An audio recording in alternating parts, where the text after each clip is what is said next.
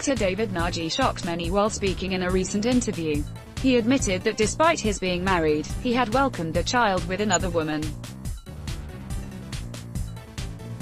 Nnaji who is married to singer Jodie said his marriage to her is intact despite the new baby. He further added that he is not going to reveal the identity of the baby's mother because that is his private life.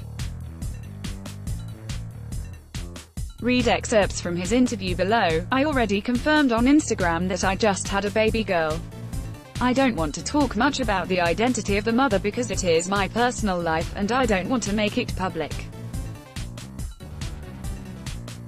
I haven't gotten married to another woman and if I will be doing that, I will rather keep it private. If you study my lifestyle, you will see that I don't put my life out there. I don't comment on things people say. My marriage to Jodie is still intact but she is not the one I just had a baby with. I did not take permission from anyone to get married, and I don't need to explain anything to anybody. I don't even bother to dissuade any rumor because I am not interested, he told Punch. However, he has also taken to his Instagram page to write that people should ignore his interview.